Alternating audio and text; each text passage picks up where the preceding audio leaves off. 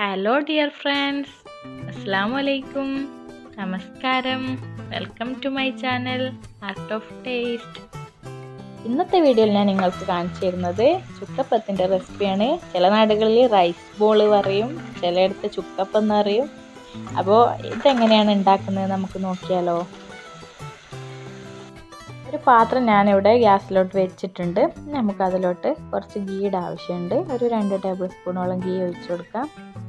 ഗീ ഇല്ലാന്നുണ്ടെങ്കിൽ ഓയിലായാലും മതി കേട്ടോ ഗീ ആകുമ്പോൾ നല്ലൊരു ഫ്ലേവർ ഇട്ടാൻ വേണ്ടിയാണ് ഇനി ഇതിലോട്ട് നമുക്ക് ചൂടായതിന് ശേഷം ചെറിയുള്ളി ചെറുതായി അരിഞ്ഞെടുത്തതാണ്. അത് നമ്മളൊരു ഫ്ലേവറിന് വേണ്ടിയാണ് ഇതിടുന്നത്. നല്ലോണം ഇതൊന്ന് ബ്രൗൺ കളറാകുന്ന വരെ ഒന്ന് ഇളക്കി മൂപ്പിച്ചെടുക്കും.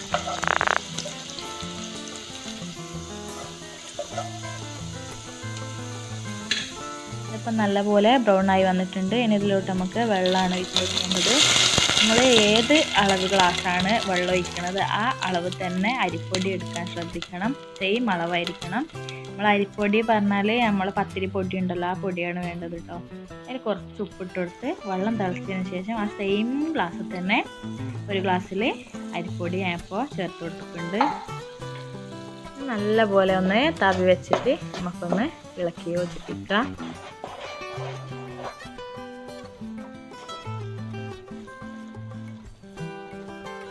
അപ്പോൾ നമ്മുടെ ഇത് നല്ലപോലെ മിക്സായി വന്നിട്ടുണ്ട്. ഇനി നമുക്ക് ഫ്ലെയിം ഓഫ് ചെയ്യാം. ഞാനിവിടെ കരിഞ്ചീരകം കൂടെ ഇതിലോട്ട് ഏഡ് ചെയ്ത് കൊടുത്തിട്ടുണ്ട്.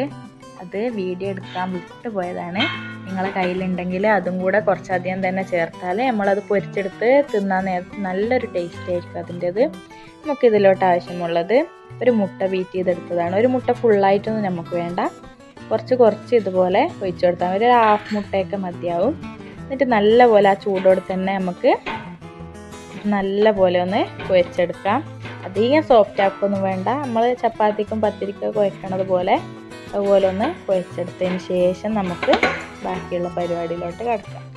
ഈ ചുക്കപ്പ് ഉണ്ടാക്കുമ്പോൾ ചില ആൾക്കാർ പറയുന്നേക്കാം പിന്നെ എണ്ണയിലിട്ട് പൊരിക്കുമ്പോൾ പുറത്തോട്ടേക്ക് പൊട്ടിത്തെറിക്കുന്നുണ്ട് അങ്ങനെയാണ് ഒക്കെ. പക്ഷേങ്കിൽ അതൊക്കെ വെള്ളത്തിന്റെ അളവ് കൂടുന്നതുകൊണ്ടാണ്. ഞാൻ പറഞ്ഞ അതേ അളവിൽ വെള്ളം പൊടി എടുക്കുകയാണെന്നുണ്ടെങ്കിൽ അങ്ങനെയൊന്നും പറ്റൂല.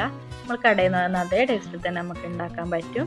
ഞാനിവിടെ ഇതൊക്കെ ചെറിയ ചെറിയ ഇതേപോലെ ആക്കിയെടുത്തേക്കാണ്. എളുപ്പത്തിൽ നമുക്ക് അതൊന്ന് ഉരുട്ടിയെടുക്കാൻ വേണ്ടിയിട്ട്. ഇനി നമുക്ക് ചെറിയ ചെറിയ ബോൾസ് ആക്കി എടുക്കാം. ഒരു കോട്ടിയുടെ വലുപ്പത്തിലൊക്കെ ഇങ്ങനെ ആക്കിയെടുത്തിട്ട് കയ്യിൽ വെച്ച് ഉരുട്ടിയതിന് ശേഷം ഒരു കൈവിരൽ കൊണ്ട് അമർത്തിയതിന് ശേഷം ഇതേപോലെ എല്ലാം നമുക്ക് ആക്കിയെടുക്കാം. നമ്മൾ കുഞ്ഞിപ്പത്തിലൊക്കെ ഉണ്ടാക്കൂലേ? ആ ഒരു ഷേപ്പിലാണ് നമുക്ക് വേണ്ടത്. അപ്പോൾ നമ്മൾ ഇതിലുള്ള ബാക്കിയുള്ളതൊക്കെ ഇതേപോലെ ചെയ്തെടുക്കുക. വളരെ ഈസി ആയിട്ട് തയ്യാറാക്കാൻ പറ്റുന്നതാണ് കേട്ടോ. ആകെ ഒരു പണിയായിട്ട് എനിക്ക് ഇതിൽ തോന്നിയത് ഇങ്ങനെ ഉരുട്ടിയെടുക്കണതാണ്. അതിന് കുറച്ച് ടൈം എടുക്കുന്നുള്ളൂ. അല്ലാത്തതൊക്കെ വളരെ സിമ്പിളായിട്ട് നമുക്ക് ചെയ്തെടുക്കാൻ പറ്റും. എല്ലാവരും ഇതൊന്ന് ഉണ്ടാക്കി നോക്കണം കേട്ടോ. അപ്പം ഞാനിവിടെ എണ്ണ ചൂടാൻ വെച്ചിട്ടുണ്ടായിരുന്നു.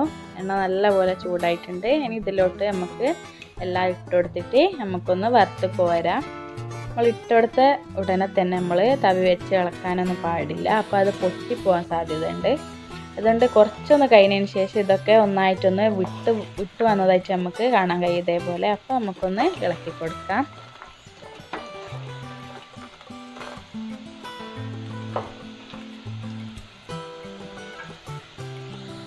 അപ്പോൾ നമ്മുടെ ക്രിസ്പി ആയിട്ടുള്ള ചുക്കപ്പം അല്ലെങ്കിൽ റൈസ് ബോൾ ഇവിടെ റെഡിയായി വന്നിട്ടുണ്ട്.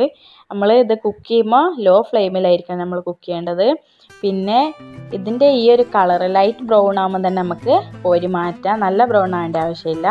ഇതേപോലെ ഈ ഒരു കളർ വരുമ്പം തന്നെ നമുക്ക് കോരിയെടുക്കാം. അടിപൊളി സാധനമാണ്. നമ്മൾ കടയിൽ നിന്ന് വാങ്ങുന്ന അതേ ഒരു ടേസ്റ്റ് തന്നെ നമുക്ക് ഉണ്ടാക്കാൻ കഴിയും. അപ്പോൾ എല്ലാവരും ഇതൊന്ന് വീട്ടിൽ ട്രൈ ചെയ്ത് നോക്കണം. മറ്റൊരു ഈസി ആയിട്ടുള്ള ടേസ്റ്റി ആയിട്ടുള്ള ഒരു റെസിപ്പി ആയിട്ട് ഞാൻ വീണ്ടും വരുന്നതായിരിക്കും. അതുവരേക്കും എല്ലാവരോടും താങ്ക്സ് ഫോർ വാച്ചിങ്